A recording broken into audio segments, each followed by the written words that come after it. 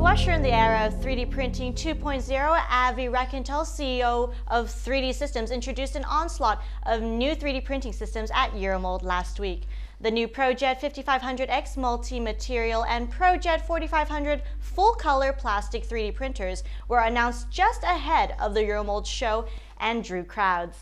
In fact, that was just the start. The industrial leader had even more to show the public, including one micro SLA machine that will retail for just under $5,000, the ProJet 1200. In contrast, the large frame ProX 950 SLA machine can print a part up to 5 feet or 1.5 meters in the x-axis at 10 times the speed of other 3D printers in the same category. The company also announced its ProX 500 SLS 3D printer for high precision parts up to 381 by 330 by 457 millimeters in size.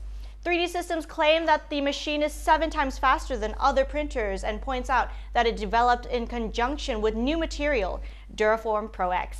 Duraform Pro X is 80% reusable for subsequent print jobs and is said to have smooth quality reminiscent of injection molded parts.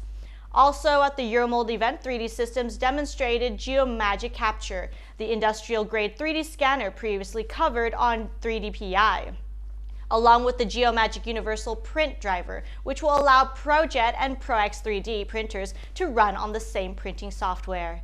In addition to their new Geomagic tool, 3D Systems brought their rebranded Phoenix DDMS 3D metal printer. Let's hear it from the CEO of 3D Systems, Avi Reichental himself. Good morning, everybody, and uh, welcome to uh, Euromold 2013, where 3D Systems is ushering in the era of 3D printing 2.0.